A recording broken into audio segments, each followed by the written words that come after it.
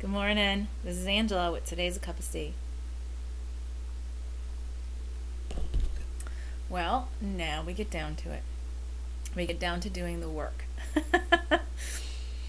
and I don't like calling it doing the work anymore. It's called doing the fun because you know work implies that it's hard, it hurts, it's blah, you know. But it is really, really crucially important on at this point in our path. So we are in the process of finding our highest and best path. We are on on it. Uh, some of us are on it. Some of us are finding it.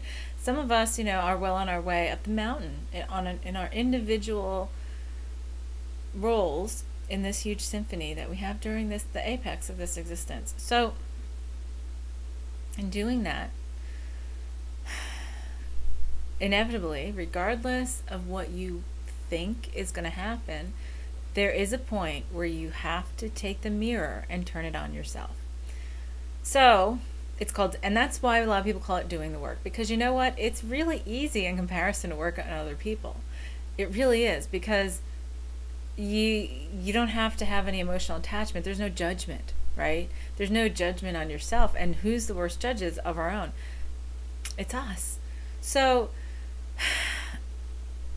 time and time again I start working with people and the whole goal for me when I'm working with somebody is first to help them clear out the muck. And as they clear out the muck, then also empower them to start being able to help themselves. Because in essence, we all can heal, ourselves. That's really what we're doing. As a healing facilitator, that's all I, am doing is heal, is facilitating the healing and giving you the pressure points and accessing you to the frequencies that I have access to that you might not remember how to access yet and then allowing you to heal from that and, and clear yourself and then move forward and expand your divinity, your abilities in your divinity and stuff. So,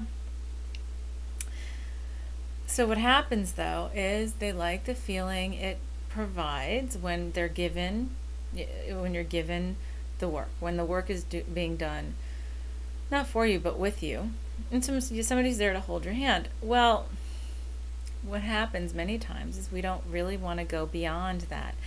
It's too scary because that means we really then have to look in the mirror without any without any masks, without any filters.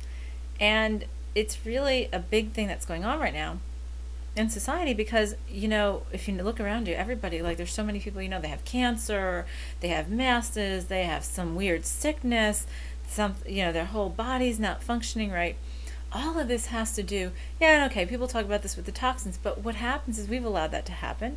And on top of it, we have also allowed what's happened to our bodies to happen. And that is because everything that happens to our bodies comes from the spirit, comes from the emotions in the spirit and the mind, and it manifests into the physical body. So it happens many times. Somebody will get a mass, somebody will get a tumor or cancer or um, some just serious chronic, they'll just have a serious chronic illness that pops up or it starts getting worse. Anything that's like that, cancer, chronic disease, something that comes back again and again, or takes a long time to get to a point of importance, that means there has been some stuff, some muck that has boiling, uh, been boiling under the surface for a really long time. It's been simmering and when it comes to that boiling point, it starts getting really, really hot and it creates that whatever disease and chronic issues in the body. Those are the deepest parts of us. Those are the darkest shadows within us. You know, we talk about shadow work. Well, this is part of what shadow work is. So the key is we all have the ability to instantly heal, to, to manifest an instantaneous healing. But to do that, we must truly look at the cause of what it is that's making this disease appear in our lives, that's making this chronic, and even if it's not a disease, even if it's a chronic negative something in your life, even if you're chronically having bad luck, you can't you can't seem to do blank, you can't seem to keep a job, you can't seem to keep a relationship, there is something, if you are repeating the same pattern over and over again, there is something deep down for you to look at. And that won't fix itself. The more you ignore it, in fact, the more you ignore it, the bigger and bigger and bigger it gets. Look at how cancer works. Cancer works at the cellular level. And I tell this to people a lot because we have a lot of people that are going through cancer right now.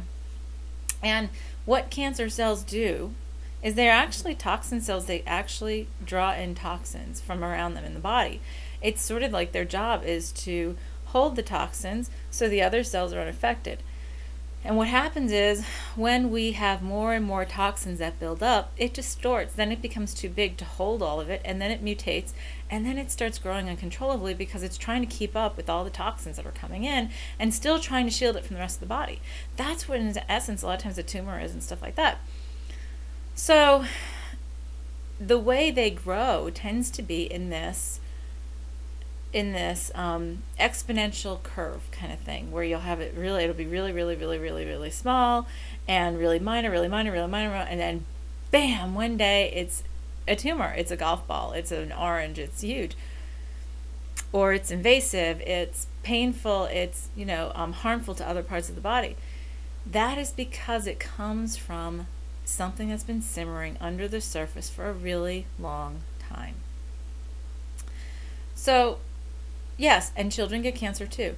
Lot, there are a lot of things that children get from their environment that gets them under the can, uh, under the under life under the skin. Also, many things pass forward from another life. If you if we have agreements, if we have certain agreements to have certain kinds of experiences uh, through the ancestral line, we'll be reborn into the same situation again and again. And yes, it does fester, and it can fester over many lives. So that's where doing the work comes from. Because if we can't look at just the top level stuff, the stuff that's just making us like, you know, irritated or sad or upset or just giving us a roadblock in one place, then we can't get to the other stuff underneath it. many times. Many times. Sometimes we can.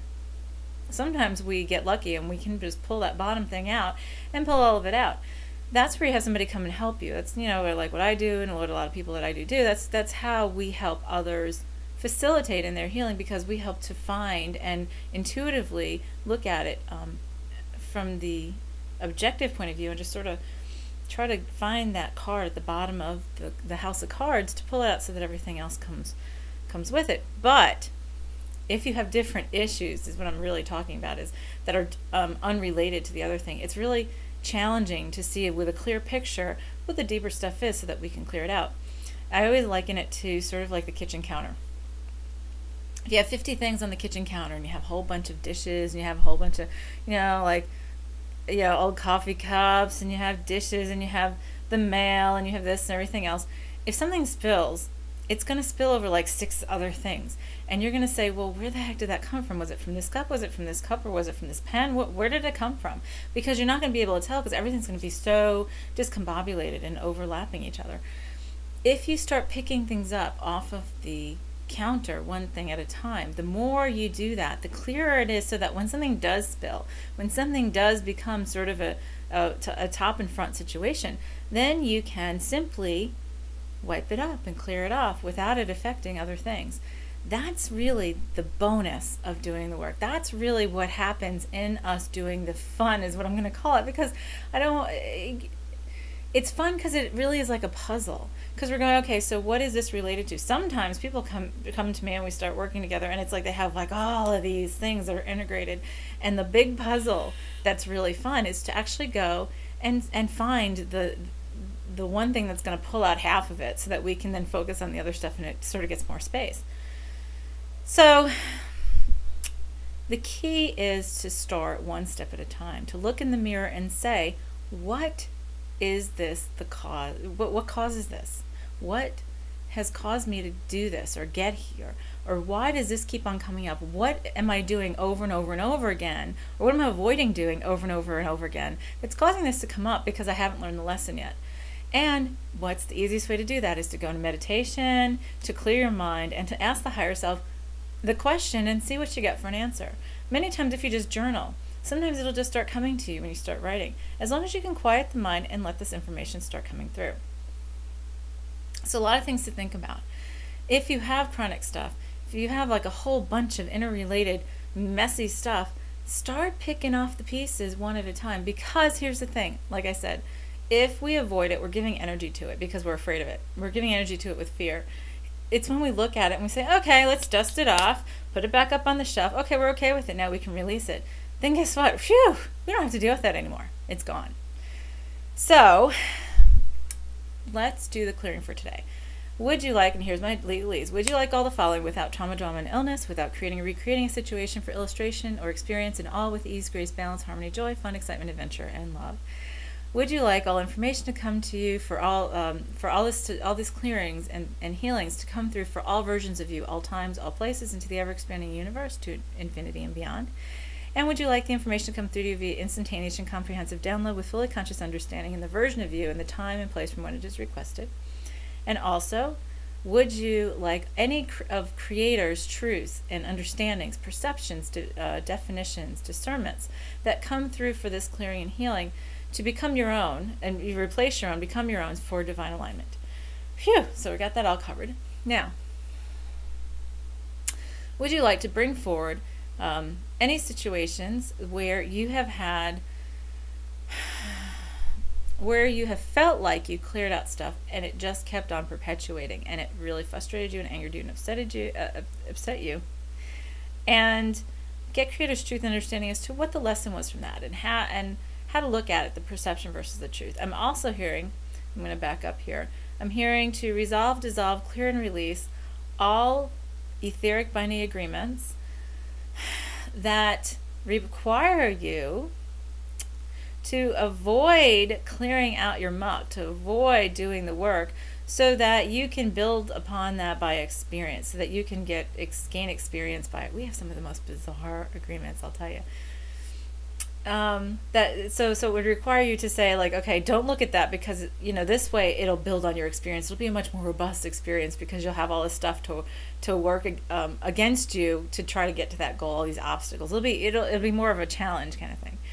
So would you like to dissolve resolve clear and release all etheric binding agreements that would cause you you know that would require you to do that? Thank all the parties involved open the doors to apology and forgiveness and built in all directions Download the feelings and understanding of apology and forgiveness in all directions to and from all parties. Get creator's truth and understanding as to how those agreements served you and how they'll serve you to be without them. To pull all beliefs related to those agreements, including that doing the work is hard, doing the work is, is depressing, doing the work will make it more work, doing the work of clearing myself spiritually will make it more mucky, will make it more painful will make it more scary, um, is just best to be avoided. Um, takes away the fun in and the challenge in this existence by clearing away uh, and doing the work and clearing away the muck and on our spiritual journey. And to pull all fears, anxieties, regrets, rejections, resentments, anger related to those beliefs that's related to these agreements, as well as pulling the energy and memory of that from the cellular level um, as well as all self-limiting, th- pulling all self-limiting thoughts, words, and actions from the cellular level that have to do with all of that. Transform into creator's lights and back to creator. Close those receptors absolutely and permanently and open new ones. Download the highest vibration of creator's unconditional love. Download the belief of I can enjoy, I enjoy doing the work to clear myself out spiritually, to, to clear out the muck out so I can progress spiritually. I enjoy doing it. I know how to have fun with it.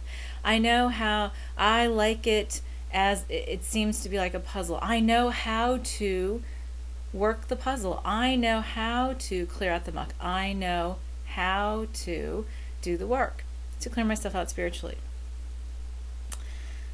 And I can do so and still be challenged. I can clear out the muck eh, that that cause cause my obstacles and challenges and still have fun in this existence. So then we're going to download all the feelings associated with that, on knowing how to do that and feeling how to do that. And also that you're worthy, deserving, and able to, that it's possible, allowed, okay, and safe to, that you're ready, willing, and able to, and that you have that in your life right now. that was a lot. um, then write off is completing the Akashic records, heal, resolve, and clear the timelines in all directions to infinity with the platinum and violet rays. And then offer to any and all ancestors and descendants as they so choose to accept. If you would like to receive that, take a deep breath, clear your mind, be open to receive, and say, Yes, doing the work. And that's it. Have a great one. We'll talk to you next week. This is Angela with today's Cuppa C.